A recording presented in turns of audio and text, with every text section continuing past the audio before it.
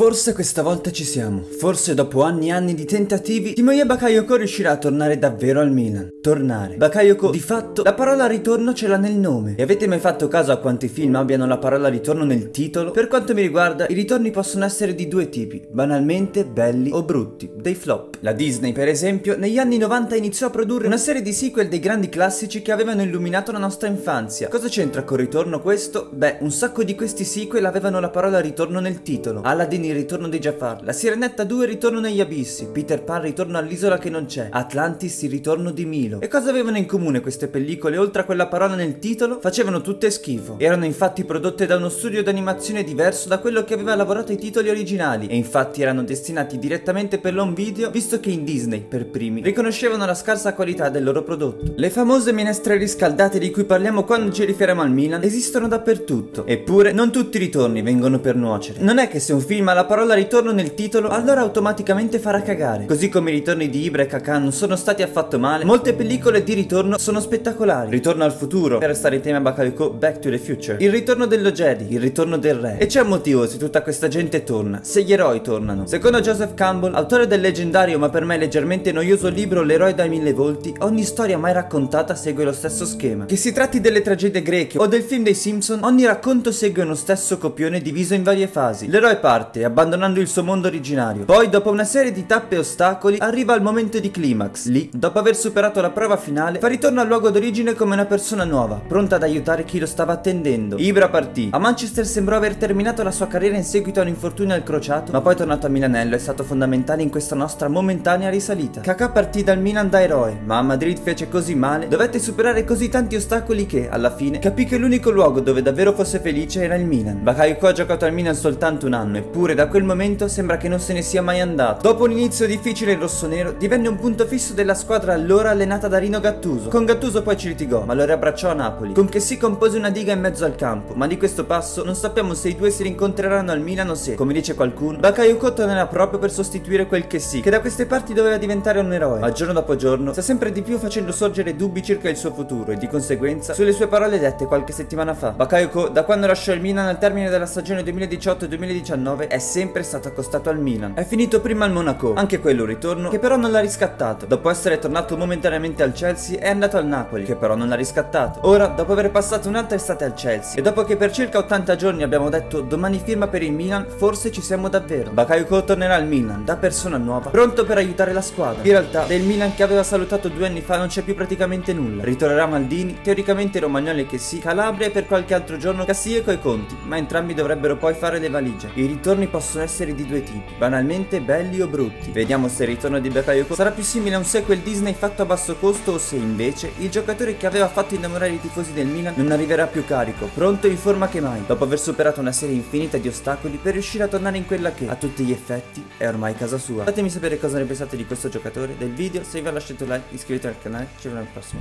ciao!